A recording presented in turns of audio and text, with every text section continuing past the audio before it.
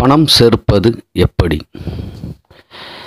இப்போ நம்ம தினமும் தினங்கூலியாக வேலைக்கு போகிறோம் சில பேர் ஆஃபீஸ் போகிறவங்க ஆஃபீஸ் போகிறாங்க சில பேர் பிஸ்னஸ் பண்ணுறவங்க பிஸ்னஸ் பண்ணுறாங்க சில பேர் கொள்ளடிக்கிறவங்க கொள்ளடிக்கிறாங்க ஒவ்வொரு வேலை செய்கிறவங்களும் வேலை செய்கிறாங்க ஆனால் பணத்தை சம்பாரிச்சுன்னு வந்து வீட்டில் வைக்கிறாங்க.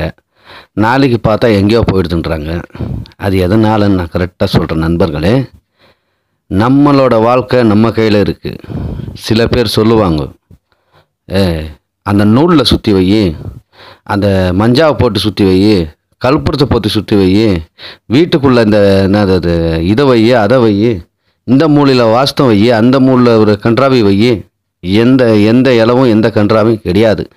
அவனுங்க பப்ளிக் ஆகி பணம் சம்பாதிக்கிறதுக்காக தான் இதெல்லாம் சொல்லி உங்களை ஏமாத்தினுக்கிறானுங்க. நண்பர்களே தன்னம்பிக்கை வாழ்க்கையில் தன்னம்பிக்கை ரெண்டாவது வந்து பணத்தை வந்து அதிகமாக செலவு பண்ணாதீங்க.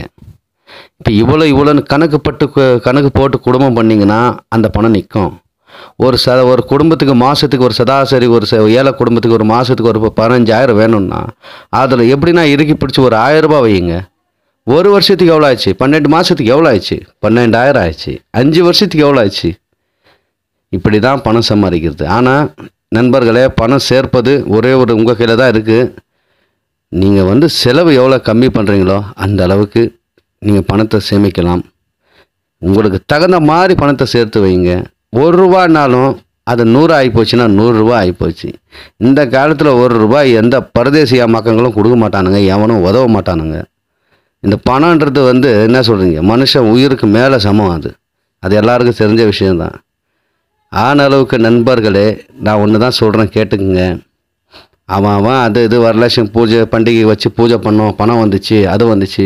அதெல்லாம் அவனோட நேரம் அவனோட காலம் அவனோட நிமிஷம் அவனுக்கு ஒரு டைமு அதனால் அவனுக்கு பணம் சேர்ந்துச்சு. எல்லாருக்கும் சேரும்னு நினைக்காதீங்க. ஆனால் ஆன அளவுக்கு நீங்கள் வந்து கஷ்டப்பட்ட காசு ஒரு ரூபா எடுத்து வைக்கிறது கற்றுக்குங்க அது நாளைக்கு நீங்களே ஒரு பணக்காராக மாறலாம். நன்றி வணக்கம்.